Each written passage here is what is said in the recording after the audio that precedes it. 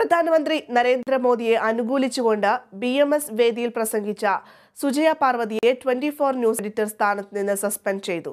സുജയുടെ വിവാദ പ്രസംഗം ആദ്യം സംരക്ഷണം ചെയ്തത് കേരള വിഷൻ ന്യൂസ് ആയിരുന്നു മാർച്ച് എട്ട് അന്താരാഷ്ട്ര വനിതാ ദിനത്തിൽ സംഘപരിവാർ തൊഴിലാളി സംഘടനയായ ഭാരതീയ മസ്തൂർ സംഘിന്റെ വനിതാ സമ്മേളനത്തിൽ പ്രധാനമന്ത്രി നരേന്ദ്രമോദിയുടെ ഭരണകാലം നേട്ടങ്ങളുടേതാണെന്ന് സുജയ പാർവതി അവകാശപ്പെട്ടിരുന്നു. ബി എം എസിന്റെ പരിപാടിയിൽ പങ്കെടുത്ത് സംസാരിക്കുന്നതിന്റെ പേരിൽ താൻ സംഖ്യയാണെന്ന് വിളിക്കപ്പെടുകയാണെങ്കിൽ ആയിക്കോട്ടെയെന്നും സുജയ പറഞ്ഞിരുന്നു.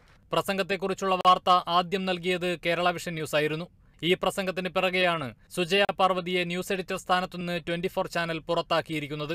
പുറത്താക്കലിനെ കുറിച്ച് സുജയ പാർവതി ഇതേവരെ പ്രതികരിച്ചിട്ടില്ലെങ്കിലും മാധ്യമപ്രവർത്തകർക്ക് തങ്ങളുടെ രാഷ്ട്രീയ മതവിശ്വാസം പ്രകടിപ്പിച്ചുകൊണ്ട് തന്നെ നിഷ്പക്ഷ മാധ്യമപ്രവർത്തനം നടത്തുന്നതിൽ എന്താണ് കുഴപ്പം എന്ന നിലയിൽ സാമൂഹ്യ മാധ്യമങ്ങളിൽ വിവിധ തരത്തിലുള്ള ചർച്ചകൾ ആരംഭിച്ചിരിക്കുകയാണ്. വിശദീകരണം പോലും ചോദിക്കാതെയാണ് പുറത്താക്കിയിരിക്കുന്നതെന്നും ഇതിനെതിരെ പ്രതിഷേധിക്കണമെന്നും സാമൂഹ്യ മാധ്യമങ്ങളിലെ ചില ഗ്രൂപ്പുകളിൽ ഒരു വിഭാഗം ആഹ്വാനമുയർത്തുകയും ചെയ്തിട്ടുണ്ട്. Kerala vision news Kochi.